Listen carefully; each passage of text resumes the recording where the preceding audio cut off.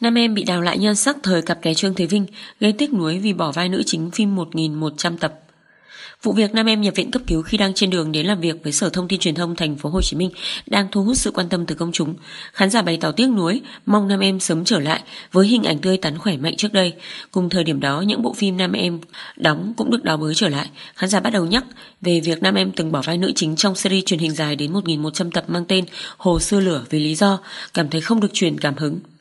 Theo lời Nam Em, ban đầu cô được đoàn phim Hồ Sơ Lửa mời đóng vai nữ chính Đan Thi.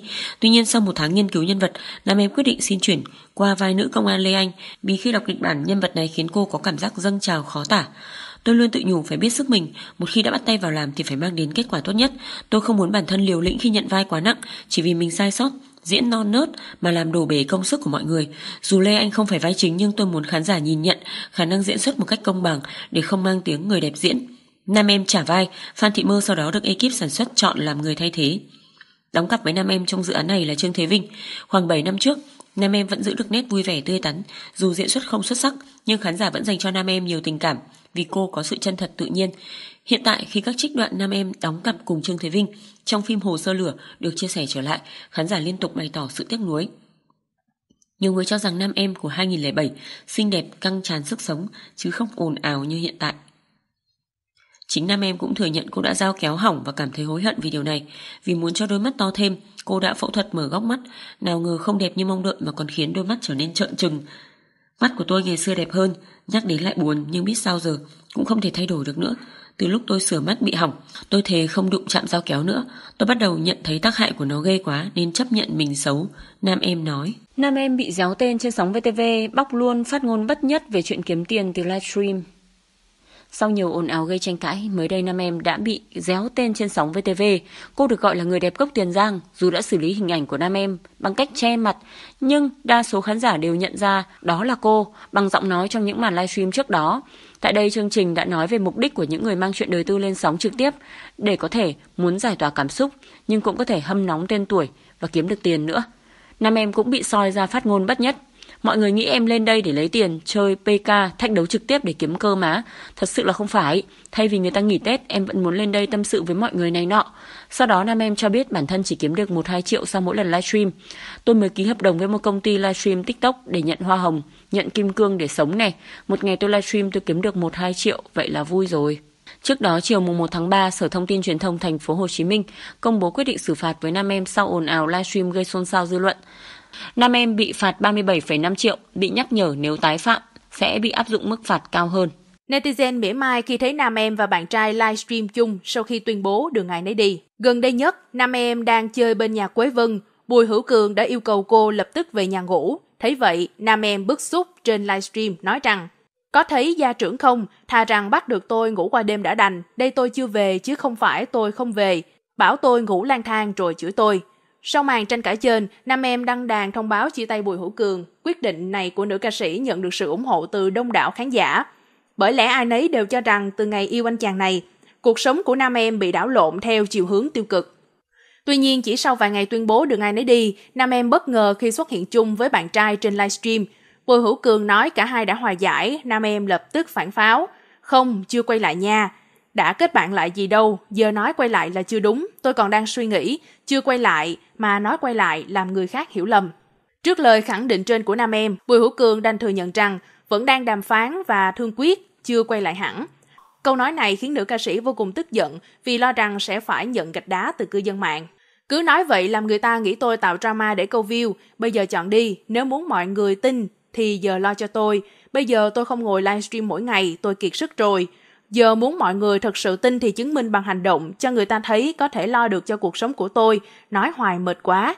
Giờ mọi người ai cũng nghĩ tôi làm kịch bản, ai cũng quay xe, trong khi tôi đơn thân, tôi vực dậy trong đống hỗn độn thì ông lại xuất hiện, rồi cuối cùng anh muốn gì, em cần biết là anh muốn gì mới gỡ được, Nam Em chia sẻ. Màn đối thoại không hồi kết của nam em và bạn trai nhanh chóng vấp phải sự chỉ trích từ cư dân mạng. Đa số mọi người cho rằng cặp đôi đang cố tình diễn kịch để gây chú ý. Đến hiện tại, thông tin nam em livestream chung với chồng sắp cưới vẫn đang được chia sẻ rộng rãi trên các hội nhóm chuyên bàn luận về showbiz. Nam em tố chồng chưa cưới bẩn tính và đe dọa mình, một chi tiết cho thấy đã chia tay. Câu chuyện về nam em và chồng chưa cưới của cô lại trở thành đề tài bàn tán của công chúng và truyền thông. Chồng sắp cưới của nàng Hoa Khôi đã livestream nói về việc người đẹp bỏ sang nhà Quế Vân và không chịu về. Anh bày tỏ sự không hài lòng với người bạn nữa kia. Nam em nói sợ anh phá việc của nó, anh sẽ phá, chắc chắn anh phá, nhưng phá trên phương diện để tốt chứ không phải để hại. Anh chặn hết số nam em rồi, cho nên nếu ok thì gọi điện cho tao.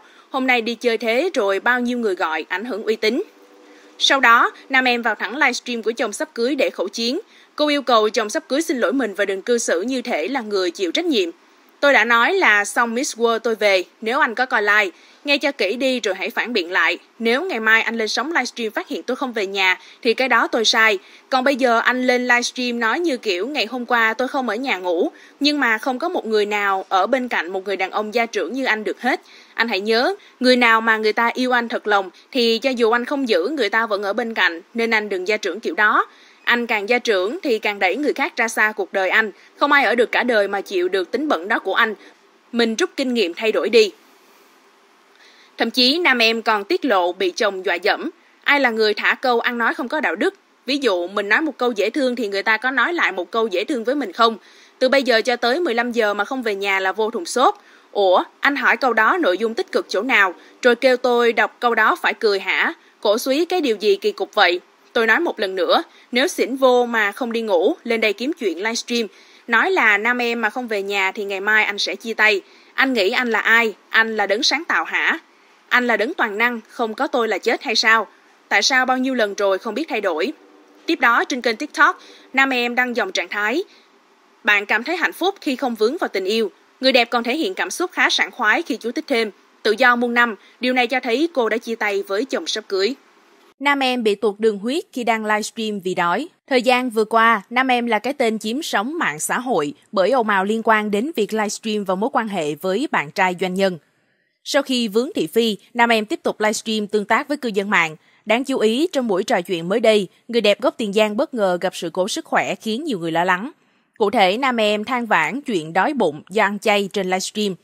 Đồ ăn tới chưa, trời ơi, đói chết đến nơi rồi. Mọi người ăn chay có giống em không bị tụt huyết áp, mà ăn mặn không được mới ác.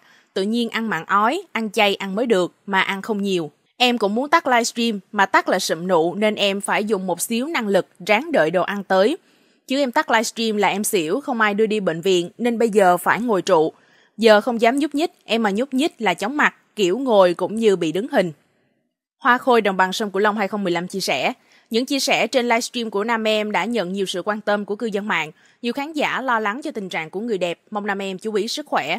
Trước đó, sau một loạt buổi livestream gây bão mạng xã hội, nam em bị Sở Thông tin Truyền thông Thành phố Hồ Chí Minh mời làm việc. Sau buổi làm việc, nam em bị xử phạt vi phạm hành chính với hai hành vi gồm cung cấp chia sẻ thông tin bịa đặt gây hoang mang trong nhân dân, kích động bạo lực tội ác tệ nạn xã hội, cung cấp thông tin hình ảnh vi phạm chủ quyền quốc gia, xuyên tạc sự thật lịch sử, phủ nhận thành tựu cách mạng, xúc phạm dân tộc, danh nhân, anh hùng dân tộc mà chưa đến mức truy cứu trách nhiệm hình sự. Tổng mức phạt đối với Hoa Khôi đồng bằng sông Cửu Long là 37,5 triệu đồng.